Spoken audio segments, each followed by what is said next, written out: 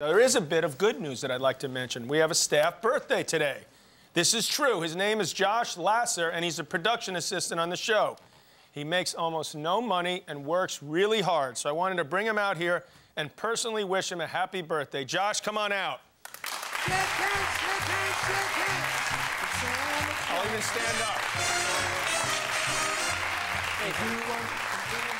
Now, how old are you, by the way? Ah, 27. Happy birthday. Thank you very much. You know, Thanks I- for having me I- out here. Thanks for coming out. I wanted to thank you for all the hard work you've done. Oh, thank you. And Louie, staff, come on out here. We're gonna, we got a cake for Josh here, yeah. And, and we also want the audience, will you please join us in a rendition of Happy Birthday? Will you help us out with that?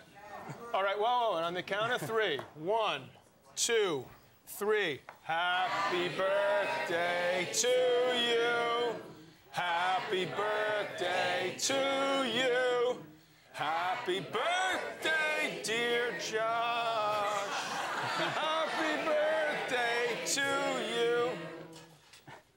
Gu- guys, what, what was that? I mean, that was a sort of a half-hearted rendition of Happy Birthday. Can, since, can someone tell me what's going on? John, to be honest, no one's excited about Josh's birthday because he's an ass. That's true. That is true. That's actually that's dead on accurate. Yep. Don't believe me? See for yourself. Hey, Josh, I heard it was your birthday, so I baked you a pie. Oh, pumpkin? Yeah. Oh, I like rhubarb.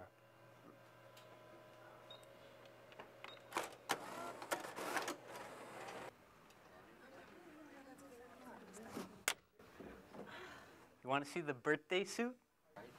What has he ever done? Mmm.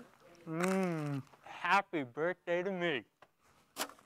Fugelsang, more like motherfucking jerkwad sucking donkey loving mother sucking saying.